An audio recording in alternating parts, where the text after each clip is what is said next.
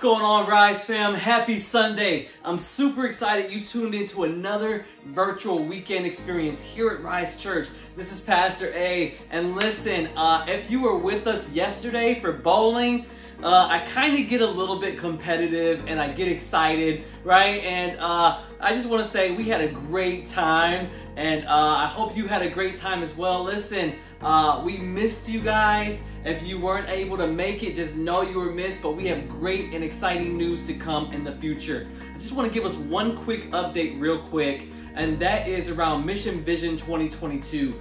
God continues to open up doors for renovation. So we keep taking steps forward and God keeps bringing that total project cost down. So continue to pray for us in that and keep giving. I just want to say thank you so much for all that you're doing to make an impact. Listen, I hope you had an amazing week. I hope it's been everything you've wanted plus some. But listen, uh, I am super excited for what God has in store for the future for you, for Rise Church, and for the city of Romulus. Now, one thing I want to note here is uh, we're going to go into a worship video just in a second. But after outside, uh, excuse me, outside of that, uh, listen, we had some technical difficulties this week. So we are re-airing last week's message. Uh, and then we will uh, go forward in our sowing and reaping season on the talents as we go further, and that will be displayed next week. So, listen, I want you to get caught up. If you have not listened to the message from last week, I want you to go ahead and get caught up. But listen, keep praying, keep believing, keep declaring. I must say, things are not always the way that we have them planned. But listen, sometimes God makes us wait, but while we wait, God refines our character. He develops us. He makes us, uh, fur- takes us further, and uh, basically gets us to the end road of becoming who He's calling us to be in this process. So listen, uh, right now, while we're in this season of sowing and reaping, we also have to wait well. So let's keep our faith up. Let's keep believing. Let's keep declaring. But then also let's keep sowing, and, and uh, we believe that as we sow, God is going to send an increase in that, in that harvest. So listen, I just want to encourage you this week, no matter where you find yourself, no matter what's going on in your own personal life, keep believing, keep declaring, keep standing in faith. God is going to do amazing things in your life. So listen, uh, we're about to get into some worship, and then we'll begin the replay from next uh, last week's experience on sowing and reaping season. All right, are you guys ready? Let's rise.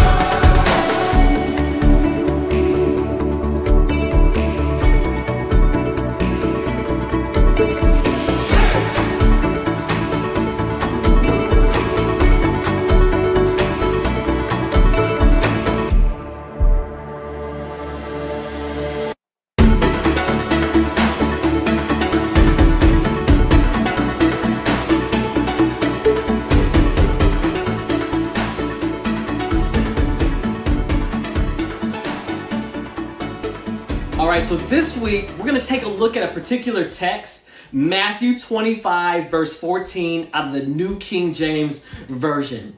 This is what it says For the kingdom of heaven is like a man traveling to a faraway country, who called his own servants and delivered his goods to them.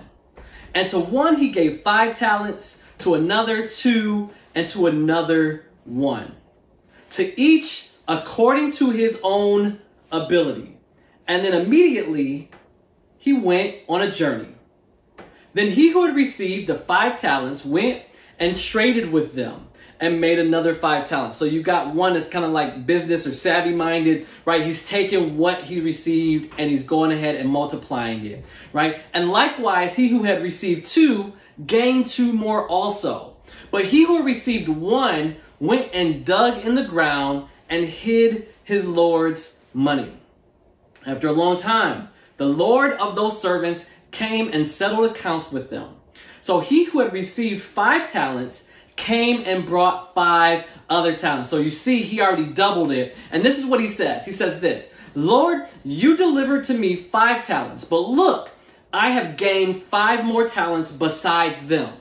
Okay? So the expectation was that they were supposed to grow these talents. His Lord said to him, Well done, good and faithful servant. You were faithful over a few things. I will make you ruler over many things. Enter into the joy of your Lord. Okay? He also, who had received two talents, came and said, Lord, look, you delivered to me two talents. Look, I have gained two more talents besides them. So we got two guys that are doubling uh, the increase of the talent. And his Lord said to him, Well done, good and faithful servant. You have been faithful over a few things. I will make you ruler over many things. Enter into the joy of your Lord. Now, here we go.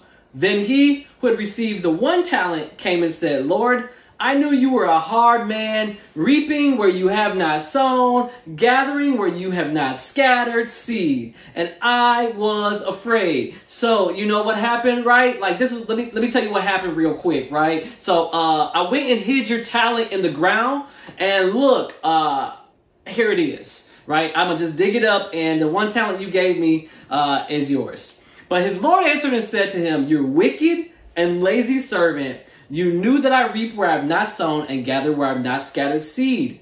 So, here's an idea. You ought to have deposited my money with the bankers, right? You could have put this in a savings account, a CD, or something, and at my coming, I would have received back my own, at least with interest. Therefore, take the talent from him and give it to him who has ten talents. For those, for to everyone who has, more will be given, and he will have abundance. But from him who does not have, even what he has will be taken away. Okay, so listen, uh, this is an absolute mouthful. We do not have time to go through this entire text today, but maybe there'll be a part two to this next Sunday. But um, before we jump into the actual story, let me tell you what this text makes me think about. This makes me think about the time of Christmas and the time of giving gifts. And I'm just to ask you a question, and don't worry, it's just me. You can keep it real. It's only me, you, and your couch cushion, right? Have you ever received a gift and you looked at it like, what am I to do with this? Right? Have you ever received something crazy for Christmas and was like, this is a perfect gift? For me to re-gift to somebody else. Uh-oh. I, I must be talking to myself, right? Okay, uh, so listen, uh, I see that you're not commenting on the live chat, but uh, let's not act like I'm the only person who has received something, right? Uh, that, that necessarily didn't fit what I'd expected, right? Uh, let me tell you, you received some gifts and you were like, I will never use this, but you try to look happy in the moment and you're like, uh, gee, thanks, I, I really appreciate this, but in the back of your mind, you already know that's going to sit in the same gift bag they gave to you just so you can repurpose it and give it to somebody else, right? Well, let me take that a little bit further, okay? Have you ever had what I'm gonna call gifting disappointment? Like you see somebody else get the thing that they really wanted when it was their time to open their gift, right? Um, back in the day, you used to open all your gifts in front of everybody at one time. At least that's how it was in my household. And so when you opened up their gift, when they opened up their gift, it was like bam, they got what they wanted. So I just know I'm going to get exactly what I want, only for it to be your turn, and now you're disappointed. Pastor A, that's never happened to me. Nope, you need to get delivered because you're lying, right? Now, even though you didn't value that gift, it doesn't mean that just because you didn't value it, that it wasn't valuable. It just means that you didn't want it. Uh oh, I'm about to go somewhere. Ready? To the person that has given the gift, that gift had value. They took the time, well, most people take the time out, but not everybody. But they took the time. Uh, they thought of it. Uh, they saw you with it. They, they saw you having it. They, they, they planned the way your face was going to be when you opened it. And using the gift that they gave you, but because you felt that it was not what you wanted, you didn't value the gift the way that it was oh, I, I feel like preaching already. It's like when you go shopping, right, for your kids. I remember back in the day when our kids were really, really, really little, when they were small, right? You put all this time into shopping, seeing their faces light up. Uh, you go get them a gift, you wrap it all nicely, and then when it's Christmas Day, they unwrap it only to play with the box instead of the actual gift because they didn't understand the value of the gift. Are you understanding what I'm saying? So to them, the box the packaging and the gift are of the same value right? Well, in our text today, Jesus is dealing with people with talents, gifts, and abilities. And in this specific parable, it's about money, but I want us honestly to go a little bit further than just the topic or context of money because I believe that spiritually, this is the state that the church finds itself in right now. And I'm not just talking about Rise Church, I'm talking about the church, the body of Christ as a whole. And so I want to give us today a couple points, but let me start off first with point number one. Here's point number one. Ready? Ready to say it, tweet it, live chat it, whatever. God expects us to use the talents He has given us. God expects us to use the talents He's given us. This is not a regift, okay? God has given you a unique ability and He expects you to use it. Just like in this parable, He gave talent allotments to His servants for a reason. Now, do you know that God has designed you for a unique purpose? He's gifted you with unique attributes for a reason, even your quirks. Even the things that seem a little bit extreme, right? He de- just didn't throw random things together of randomness and put them all together in a person and then create you. No, he designed you with unique abilities and talents. And because he took his time with you, he expects you to use those things that he designed in you for him, right? So he put things in you for you to give it back to him better than the way that he gave it. Now, this is what's interesting in this text. In this text, and this is the reflective thought I really want to share with us this week at Rise Church. I want this to stick in your head this week. God gave the talents to the servants one five talents, one two talents, and to the third servant, he had one talent. Now, I got to ask you a question because uh, I think many of us feel like this right now, like the servant with the one talent. How many of you right now feel like the person with only one gifting, insignificant. Like I only have one talent, Pastor A. It's not that special. I'm really not that great. How many of you right now feel like what you have is been is not enough? Like what God is giving you is not enough. Like it's not that special. And let me tell you, this is how the enemy comes in. This is where he wants to work in your life. The temptation that comes in happens when you compare yourself to the one that has five or two talents. Okay, what's interesting in this parable is the fact that we understand that the, the master gave the talents in order, but he called all the servants together to him at one place and one time. So the one that had five talents was also present when he gave the one two talents. And he was also present when he gave the person one talent but also the opposite. So was the person that received the one talent. He got to see the other two people receive the five talents. He got to see another person receive two talents, and then it made him feel insignificant. This is where the enemy really wants to creep into our lives. This is so much like real life because at any given time, you can look at people and see what they are doing and see how they're using their gifts, and you can always compare.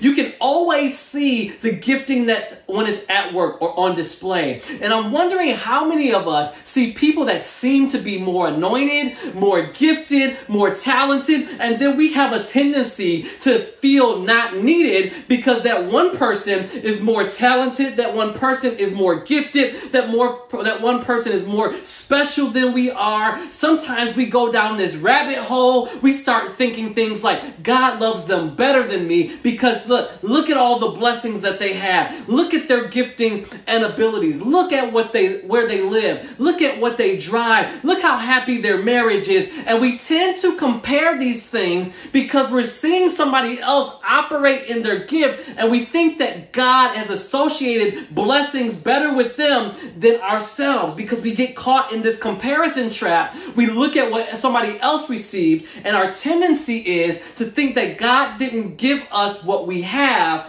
for equal reasons. It's easy to look over the fence and want to bury our gifts or think that God is not using us. Well, today I got to tell you that today we have to break up with the feelings of insignificance. We have to break up with the feelings of being inferior, the feeling of being less than, the feeling of being not enough. We have to break up with these things because you don't know exactly how many talents God has given them. All you see is their talents on display. See, God is using you to do something for Him. Uh, he's using you as a gifted individual, and you don't even know that that person that you think were given five talents might just be using that one talent really well. Uh, I feel like preaching, right? And so here's another point. Just like our finances, God expects a return on His investment. God is giving you the talent, the gift, the ability to use it for His glory. You don't know how your talent will manifest until you really use it for its God given intended purposes, right? Sometimes we think because somebody's on display that they've got five talents. They could just be using one talent very well. You know, uh, sometimes uh, uh, in business, I, I hear it like this, right? Sometimes uh, you can get five talents, but those five talents are not as effective because you have to manage each one of them individually, right? And sometimes it's easier to give you laser focus on one task or assignment to do the best thing for that one talent, that one gift, that one assignment to bring the best or the most out of it right? Uh, I work in a, I used to work uh, as an area manager, and we used to have something called metrics or different buckets, different quotas to hit, right? And at one point, we had eight different things that we were responsible for managing. And can I tell you, oftentimes, as I was managing those things, through store managers, through employees, through people on the front line, through sales force and staff, what happened is they would shift focus because we were behind on a certain sales number. Uh, they would shift focus on that uh, thing and something else goes suffering as a result of it. So if we're going to focus our sales on the things that lacking, now I'm focusing so much over here, I forget to do the other things well, right? And I want to tell you sometimes when uh, others have uh, a gift or talent that looks like it's greater than yours, may you don't know what it takes for them to manage all the things that come along with it. And instead of thinking that your one talent is less than, maybe God has gifted you with the blessing of having laser focus so that way you can do that one thing well. So I want to tell you today to stop comparing, stop analyzing, stop looking over your shoulder, saying, I only have this one thing. Because can I tell you, the one thing that God has gifted you with is still needed for the body. It's still purpose in your design. And you're going to do the thing that God's called you to do when you develop that laser focus where you're not distracted by anything else going on in your life. I want some people today in the Rise family to say, I'm going to invest my talent, whether if I, it's big, whether it's small, whether it's much, whether it's little. I'm going to do the thing that God has called me to do to the best of my ability and then trust God through the process for me to make that investment to give it back to Him better than what He gave to me in the first place. I feel like preaching. Can you say amen? God has gifted you as an individual. And here's my final point here. Just like our finances, God expects a return on his investment. God has given you the talent, the gift, the ability to use it for His glory, not your own. And so this week, this is what I want you to do. I want you to examine who you are this week through journaling, writing, diarying, something. Even if you have to write it down, write down the things that make you uniquely you. And if you can't come up with the things that make you uniquely you all by yourself, bring in someone else, bring in a spouse, bring in a friend, bring somebody in to help you write these things of what make you uniquely you. And then I want you to ask yourself, with the talent that I've been given, with my uniqueness, with my individuality, how can I use uniquely me for God's glory? How can I use uniquely me for God's glory? That's a good place to stop. I told you we weren't going to have enough time to get through everything else. There's so many other things that I could talk to to to uh, to speak to about this uh, particular text and topic, but this is a good place for us to start because I want us to begin to live a life of obedience and faith, and we've got to start producing fruit. We've got to start yielding increase. We've got to start giving things back to God better because it's not enough for us to join in on a Sunday experience and saying, I got my God time off, check the box. No, God is expecting us to give Him the best with the fruit and with the investment and with the gifts that He's given us. Can we pray? Father, thank you so much for your amazing love, your amazing giftings toward us, the abilities, the uniqueness that we've been given. Lord, would you allow us to give these things back to you better than what it is when you gave it to us? Lord, you expect us to give you a return, so help us to be people of that of, and of that purpose today. So, Father, I ask you, I bless your name. I love you so much. In Jesus' name, amen. Listen, it is a great day to have a great day. It's an even better day to place your faith in Jesus. So listen, if you are here and you're watching us for the first time and you want to make a decision to follow Jesus, let me tell you, uh, that is the best decision that you could ever make. And I want to help you take your next steps with Jesus. So if you could, go ahead and click uh, or type in the live chat the word Jesus. If you're watching us on our website, click the button that says Jesus. I would love to help you take your next step with Jesus. Now, listen, uh, you might have been dating us for a while now. We're starting to get notifications, emails, responses. A lot of people have been dating us, but they're starting to come in and get plugged in, and I'm really, really excited about it. So I'm going to ask the same thing of you. This is a church full of unique and amazing rock stars just like yourself, and so I'm going to ask you, take that leap go ahead, jump in, jump into the Rise Church fam. Go ahead, click, type in the live chat, jump in, or click the button if you're watching us on our website that says jump in. I would love to uh, meet you, get connected, and I cannot wait to see all the amazing things that God is going to do through you here at Rise Church. Now, listen. We have been in a giving season. It's sowing and reaping season. So, because of this, uh, it's been a, a, time where Rise Church has had the ability to be on the front line, uh, God has used us to be a blessing. God has used us to open up doors of favor for other people and to be an answer of other people's prayers. So I believe that we are sowing with purpose. We are giving God the first fruits of our increase with purpose. And the same way He's using Rise Church to do those things, the same way God is using you to do those things as well. Remember, when we honor God in His house, God honors us in our house. So listen, Isaiah and Laura are teed up. They're going to talk to us about the ways that we can give. But listen, I want you, if you did not take the leap of faith and, to, and obedience last week to become a tither, I want you to do that this week. There's nothing stopping you besides your own fear, and those things are not from God. Those are from the enemy. So let me tell you, take the journey, take the trip, take the plunge, take the leap, whatever you want to call it. But let me tell you, you cannot be God giving no matter how hard you try. That's what we used to say in the church. I said, uh, in the church growing up back in the day. But listen, Isaiah Laura are teed up, ready to talk to us about the ways that we can give. Isaiah Laura, what's going on, guys? Hey, hey Rise fam. fam! We are here to talk to you about giving and just how amazing it is. We challenge you to take time to sow into all the amazing things that are happening at Rise Church. The Bible encourages us as believers to give God the first fruits of all of our increase. That's our time, our talent, and our treasure. And the ways that you can give are up on your screen right now. The Bible says that when we give to God, God will give back to us good measure, pressed down, shaken together, and running over. We love that God loves a cheerful giver, and we love that we can be a part of what God is doing. Thank you so much for your contributions, and we appreciate everything you are doing. And we look forward to seeing you rise to your God given potential.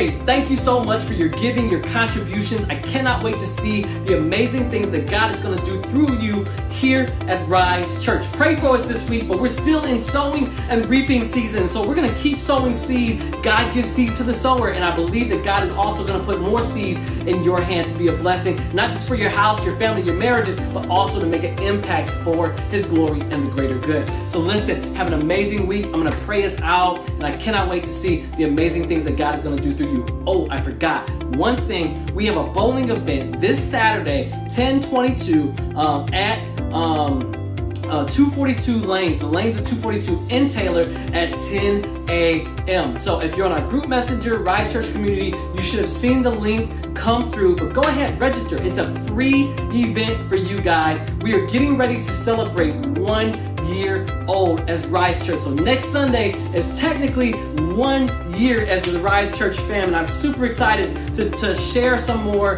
talk to you a little bit about our journey through that process, and we will have some exciting news then. So listen, let me tell you, let me pray for us real quick, and I cannot wait to see all the amazing things that God is going to do through you. Here we go. Father, thank you so much for your amazing love, your kindness, your patience, and, and uh, all that you've given us. Help us to be good stewards over our faith, over our finances, Lord, our time, our talent, and our treasure. We love you so much. Would you bless us in our going in and our coming out? Um, Lord, I ask you to, to bring increase all the way around us in our family, in our communities, in our homes, in our marriages, and our jobs. And Lord, let, allow us to experience the overflow in the name of Jesus. We love you so much. It's in Jesus' name we pray. Amen. Well, listen, God bless you all. I love you all. Have an amazing week. See you Sunday.